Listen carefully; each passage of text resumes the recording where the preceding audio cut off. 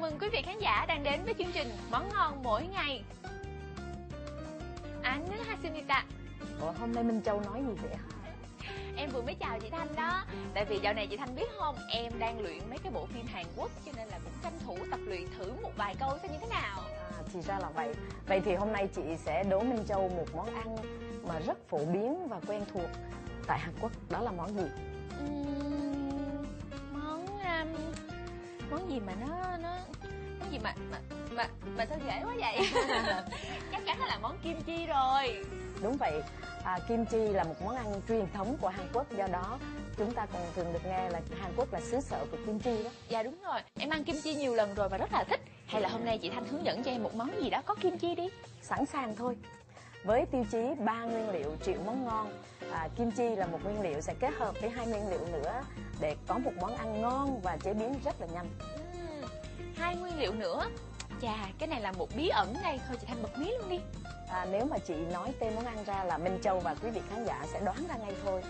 Hôm nay chúng ta sẽ vào bếp với món heo quay xào kim chi cà bát.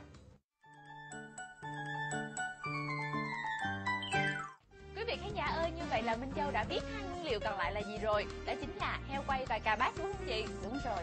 Để thực hiện món ăn này chúng ta cần chuẩn bị một số nguyên vật liệu sau: một miếng thịt heo quay, kim chi, cà bát, hành lá, cần tàu, tỏi băm, một số gia vị thông thường và nước tương đậu nành Lisa.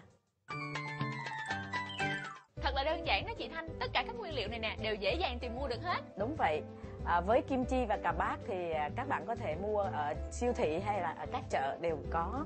Còn riêng về thịt heo quay thì các vị chủ bếp của gia đình chúng ta đều biết mua ở đâu để có thịt heo quay ngon rồi. Dạ, chắc chắn rồi. Bây giờ mình bắt đầu vào công đoạn đầu tiên ha chị ha. Rồi, sẵn sàng em. Trước tiên thì thịt heo quay mình sẽ cắt mỏng khoảng 5 ly ha em. Để giữ độ da giòn của da thì cũng không nên cắt nhỏ quá. Sau khi cắt ra rồi thì chúng ta sẽ ướp vào đây một ít gia vị. Trước tiên thì chúng ta ướp vào đây một muỗng canh nước tương Lisa em ha. Tại sao chị Thanh lại dùng nước tương Lisa mà mình không dùng nước mắm hả chị Thanh? À, đây là đặc trưng của món ăn này. Em ướp nước tương thì món ăn sẽ có mùi thơm và khi chúng ta nấu xong thì cũng có màu sắc rất là đẹp. Ừ, đây là một chia sẻ nho nhỏ từ chị Thanh dành cho quý vị khán giả. Quý vị nhớ nha, khi mà chúng ta ướp thịt heo quay thì nên dùng nước tương Lisa. Như vậy thì món ăn sẽ có màu sắc và hương vị tuyệt vời hơn. Ướp tiếp vào đây nửa muỗng đường em ha. Một ít tiêu. Và nửa muỗng bột ngọt Ajinomoto. Bây giờ trộn đều lên để cho thịt được thấm gia vị. Rồi chúng ta chuẩn bị tiếp những cái nguyên liệu còn lại. Phần kim chi thì các bạn mua về nếu nhiều nước các bạn nhớ vắt bớt nước đi. Ừ, lưu ý này nho nhỏ thôi nhưng mà rất là quan trọng. Quý vị khán giả cũng đừng quên điều này nhé. Khi mà chúng ta mua kim chi về, quý vị cắt nhỏ sau đó vắt ráo nước. Như vậy khi xào thì món xào của chúng ta sẽ không bị ra nước. Cà bát các bạn mua loại trái vừa thôi khoảng 200 gram. Chúng ta cắt bỏ phần cuốn đi và sau đó chúng ta cắt muối em ha. Bây giờ thì Minh Châu giúp chị chiên cà.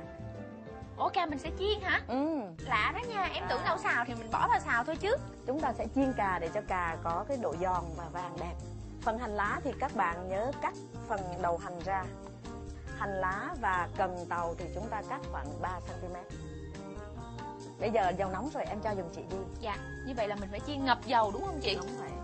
Món ăn này có ngon hay không là cũng ở cái khâu chiên cà nữa đó nha. Đây, Rồi. được rồi. Gom một Đẹp lần quá hả? Em có thấy màu vàng chưa? Dạ em thấy rồi. Bây giờ chúng ta tiếp tục xào món ăn của mình. Cho khoảng một muỗng cà phê tỏi vào hả em? Phi cho thật là thơm. Đi thơm. Và sau đó cho phần đầu hành vào. Khi sơ một chút rồi chúng ta cho tiếp. Trước tiên là chúng ta cho phần thịt heo quay vào. Em bật lửa lớn giùm chị. Dạ. Sao mình lại cho lửa lớn chị lỡ cháy nó làm sao? Không, đây là bí quyết của món ăn. Chúng ta phải xào lửa lớn để cho mỡ tương ra và còn giữ được cái da giòn. Và chúng ta cũng xào rất nhanh tay thôi các bạn ha. Tiếp theo chúng ta cho phần cà chiên vào. Rồi tiếp theo thì chúng ta cho phần kim chi vào luôn. Ừ, kim chi này đã được cắt và vắt tương đối ráo đúng không chị? Đúng vậy. Sau khi cho cà và kim chi vào rồi chúng ta chỉ đảo nhanh thôi các bạn ha. Bởi vì tất cả nguyên liệu đã chín hết rồi. Đúng vậy. Và cuối cùng trước khi à, nhắc ra thì chúng ta cho phần hành, Hành lá và cần. cần. Anh múc phần thịt heo quay ra. Heo quay có Một màu ít đẹp kim quá. chi nữa. Thật là thơm. mùi thật là hấp dẫn phải không như vậy là chỉ trong vòng có mấy phút thôi thì chúng ta đã có ngay một món ăn nè. Quý vị nhìn thấy không? Rất là đẹp mắt với sự kết hợp hài hòa giữa thịt heo quay nè cà bát nè và kim chi. Uhm. mùi thơm thì rất là lạ. Không biết ăn vô thì sẽ như thế nào đấy ta? Sẵn sàng liền để cho em thử. Ừ, em mời cảm ơn em. chị thanh. Em cứ phải ngửi đi ngửi lại cái mùi thơm này rất là lạ đó chị. Đúng rồi là mùi của nước tương và mùi kim chi. Dạ đúng rồi mùi thơm lựng của nước tương luôn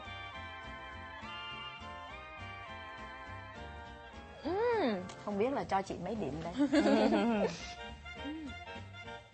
rất là vừa ăn mà em thấy là cái món này không chỉ có mùi lạ đâu nha mà cái vị của nó cũng rất là lạ nữa sự kết hợp giữa à, cái vị béo béo nè rất là mềm ngon của heo quay Đúng rồi. với lại một chút cay nồng của kim chi nè cà bát á, thì cũng rất là bùi vì mình đã chiên giòn vàng bên ngoài rồi Ừ, em nghĩ với sự kết hợp này thì quý vị khán giả sẽ tìm thấy rất nhiều điều thích thú giống như là Minh Châu đã từng ngày hôm nay vậy. Ba nguyên liệu, triệu món ngon.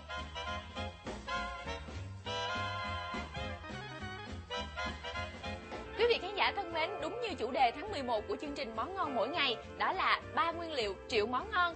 Quý vị khán giả chỉ cần theo dõi thật là thường xuyên và ghi nhận lại tất cả những hướng dẫn của các đầu bếp chương trình gửi đến thì Minh Châu tin chắc rằng quý vị sẽ thành công và những người thân của quý vị sẽ rất là yêu thích các món ăn mà quý vị gửi đến. Còn bây giờ chương trình xin được phép khép lại, nhưng trước khi chia tay, Minh Châu muốn nhắc đến quý vị cách thức để liên lạc với chương trình. Đó là hộp thư số 1 Bưu điện Long Bình Tân, Biên Hòa, Đồng Nai hoặc quý vị có thể gọi về số điện thoại 083 930 8794 đó là trung tâm tư vấn khách hàng của công ty Ajinomoto. Còn bây giờ, xin chào tạm biệt và hẹn hẹn gặp lại.